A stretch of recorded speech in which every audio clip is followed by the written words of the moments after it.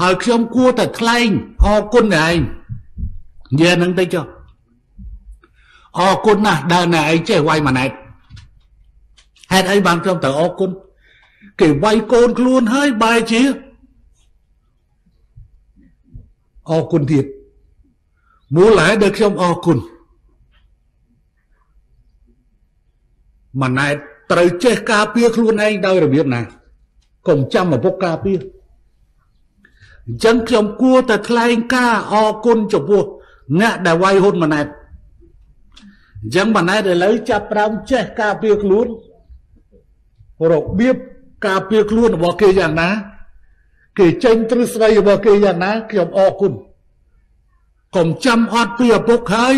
អត់មានចេះការពារខ្លួនហើយស៊ីគេឪពុកអត់ទេ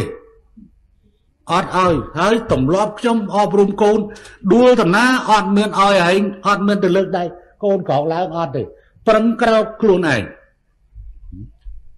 ប្រឹងក្លៅខ្លួនឯងយ៉ាងទៅថ្លៃម្ដងគុណចំពោះអ្នកដែលវាយហ៊ុនម៉ាណែតវាយហ៊ុនម៉ាណែតដើម្បីហ៊ុនម៉ាណែតចេះការពារខ្លួនឯងកុំចាំបាច់ឪពុកការពារខ្លួនហើយរឿង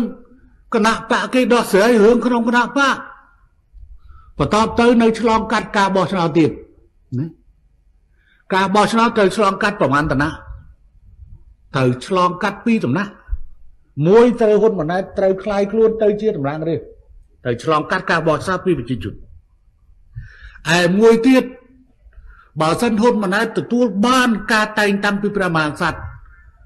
ឲ្យคลายទៅជានាយករដ្ឋមន្ត្រី ចាត់តាំងទៅជារដ្ឋមន្ត្រីហ៊ុនម៉ាណែតត្រូវរៀបចំគូផ្គងសមាជិករដ្ឋាភិបាលនាំទៅសុំការទុកចិត្តពីសភាត្រូវឆ្លងកាត់សភាដែលជាតំណាងឲ្យប្រជាពលរដ្ឋនៅទូទាំងប្រទេសអញ្ចឹងបើតែឯងយល់ថាហ៊ុនម៉ាណែតវាអត់បានការអ្នកឯងបដ ாய் ឲ្យទៅ គេហៅយុទ្ធសាស្ត្ររួញទូបដ ாய் ទឹក ណា